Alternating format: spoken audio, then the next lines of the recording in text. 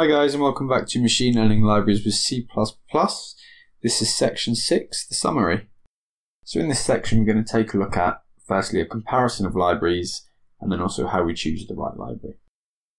So first video 6.1 comparison of libraries where you know we're going to be taking a look at surprise surprise a comparison of the libraries and then that's back to where we should be now. So let's go back to Shark, the first one. Now, I thought Shark was very well documented and it had plenty of support online. Um, and the website was clean, lots of nice examples. It's very kind of user friendly um, and also very quick to kind of get up and running with, in my experience. Um, and it's also very fast, it's very well programmed. Uh, there's a whole suite of contributors to that, and they do very well. So thank you to you guys. Um, yeah, it's got almost all the essential algorithms that you could want. Um, a lot of supervised learning, not a lot, not as much unsupervised, but still, um, all your essential ones are there, all your essential algorithms.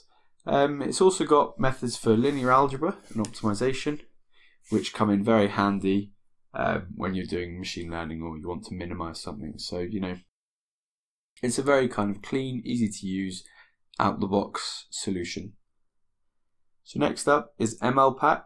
Um, it's very similar to Shark in the, in the fact that it's very easy to use. It's got a nice clean API, well documented, um, with plenty of tutorials. So you can always just reference online and work out how to do something. It's not a problem.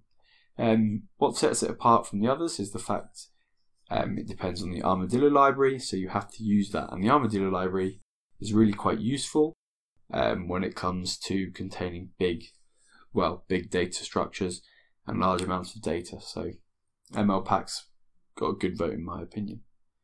Um, next up is dlib. Now dlib is very large. Um, it's got loads of functionality and lo it covers loads of almost kind of like niche um, algorithms and implementations of algorithms for different, you know, kind of tweaks of functions. So if you're using the Euclidean distance, you can use radial basis functions and things like that, which are available in the others, but dlib's really highly configurable, which makes it extremely powerful. Yeah, there's also plenty of other support, such as image reading and multi-threading, so it can be used as kind of like a standalone library. I do I have I found the website a little bit harder to navigate than the others. Um, but I think that's because there's not, there's not a whole team.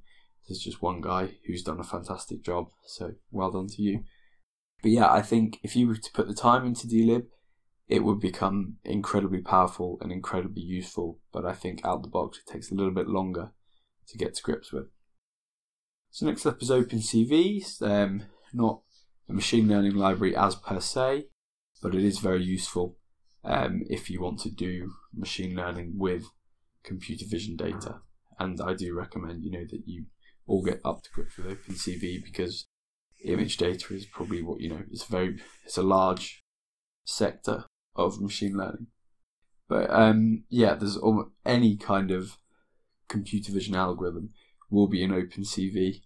Um, it's incredibly powerful. It's very large, but there's also a lot of support for it online. So that was it. That was just a brief summary, um, a comparison of all the libraries that we've looked at. Um, you know, do suggest you make your own opinion as to which one you find special. Um,